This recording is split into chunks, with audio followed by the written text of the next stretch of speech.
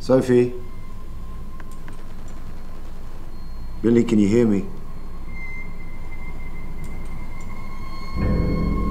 Billy, is Sophie back in the room with you?